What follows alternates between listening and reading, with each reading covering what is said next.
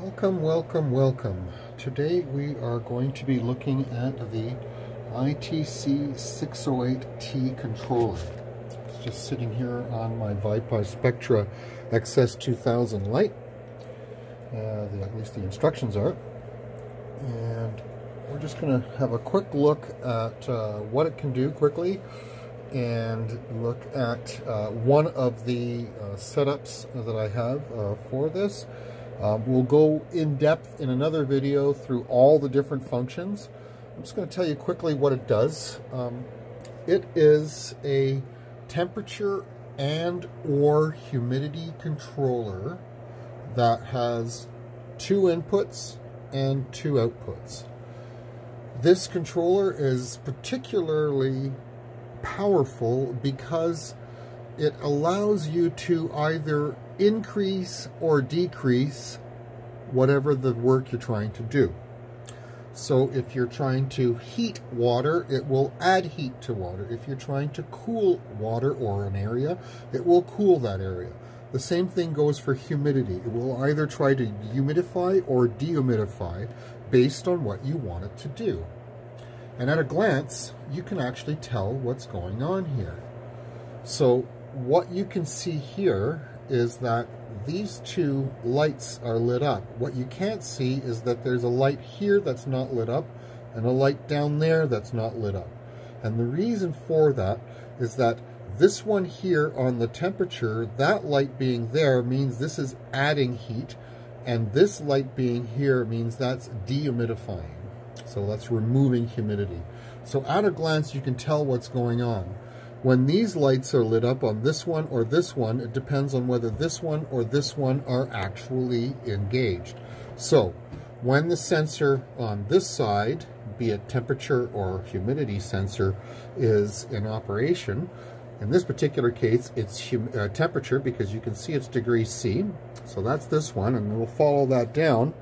And we can follow that all the way down to a probe going here in the water barely see it right there.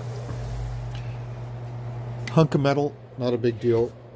We're not here to look at the actual unit. We're here to talk about what it can do. So that right now I have a set point of 18 degrees Celsius and a set, uh, the actual value is 17.9 degrees. I can set even what my differential is. So I'm allowed to even go and say, I want this unit to uh, allow whatever it is to reduce down to whatever value I want it to be before it engages. And in this case, I put a differential of one degree.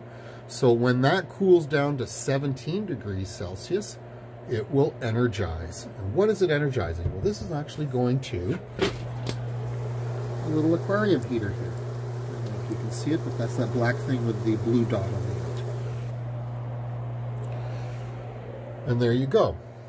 So, real quick, let's say you get this and you want to quickly set it up, no problem. I plugged in the temperature on the left and the humidity on the right. That's what works for me. And that's what I do. And in here, if I wanted to dehumidify, I would actually plug that in. Right now, I'm using it just for sensing, and I have it sensing the humidity in my cloning chamber. Now, other things that you can do is you can set alarms, low and high alarms, and it's really cool. So before you actually go ahead and program one of these, what you're going to want to do is you're going to want to set yourself up a, uh, a plan. So you write down, what do you want it to be? What mode you want it to be in? What units? What's your target temperature? What's your differential, i.e. when it will it turn on, when will it turn off? And so at 18 degrees in a heating mode, at 1 degree Celsius differential, it is on at any temperature equal to or less than 17 degrees, and it turns off at any temperature greater than or equal to 18 degrees C. When it turns on, if it's in between 17 and 18 degrees C, it will uh, not energize until it degrades down to the turn on point. And then I say I want my alarm to be high at 20 degrees C and low at 16 degrees C.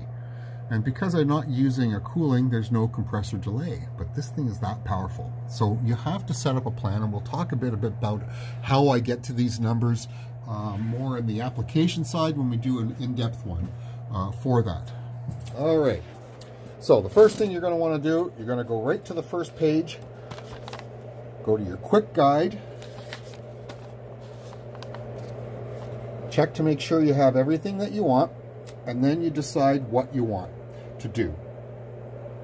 Temperature control, dual temperature control, humidity control, temperature and humidity control. This is the most popular one.